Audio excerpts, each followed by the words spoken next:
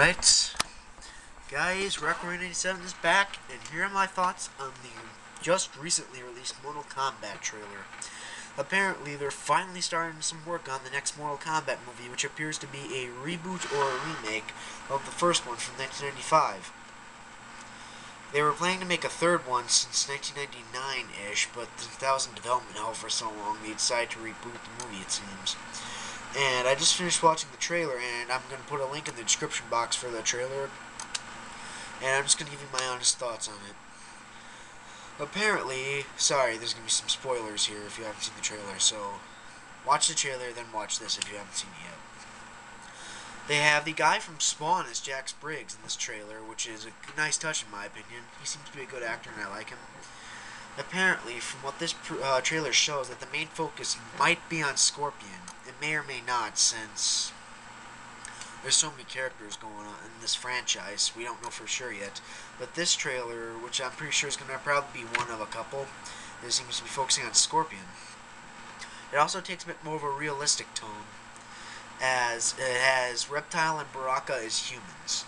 Reptile as human is okay in my opinion, because Reptile, even though they say he's a Terran, he started off in the early games as a human character.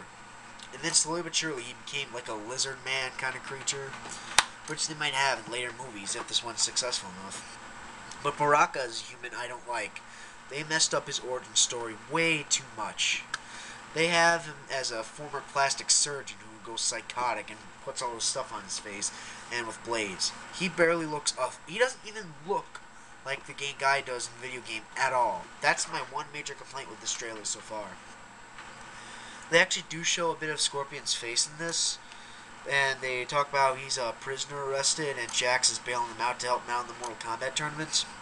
We don't know much about Liu Kang, but we do know that Johnny Cage is dead as Baraka kills him in the trailer as they show.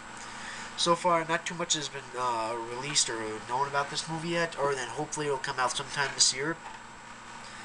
This uh, trailer looks really good in my opinion overall, except for the Baraka part. They also show a bit of Shang Tsung in there, and they hint that Sub-Zero is going to be in there. Personally, in my opinion, it looks good, but I just hope the, there are several uh, do's and do-nots they should do in this movie. Number one, they should still stick to the game, because this movie seems to go for an over-realistic tone, but not entirely realistic. But still, like I said, this is the only proof of evidence we even have of the movie, so we don't know much about it yet. Uh, number two, they have to at least have the characters of similar origin stories, or at least make them look alike, which they dropped the ball with Baraka on that.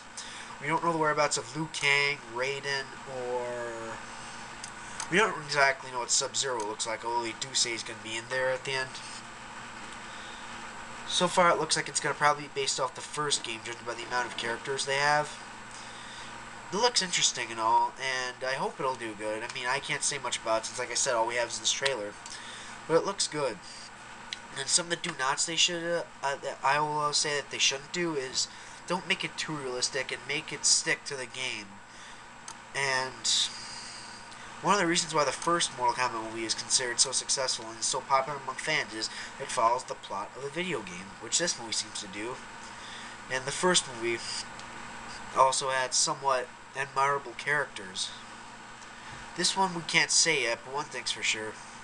It does look a hell of a lot more violent than the first movie, which is a thumbs up in my opinion, because it's Mortal freaking Kombat. Every game except for the one versus DC Universe, which I felt sucked, was violent as hell. Now this movie seems to be following in the game's footsteps. So far, I think this trailer is a step in the right direction. Leave your comments, thoughts below. If you want, you can make a video response to this. Tell me your thoughts, Mortal Kombat fans, on Mortal Kombat 2010, the teaser trailer. I'm going to put a link in the description box so you can watch it. I just hope it works. Rocker97 making his first video in a long time. Peace out, guys. Hopefully I'll make another one soon. See ya.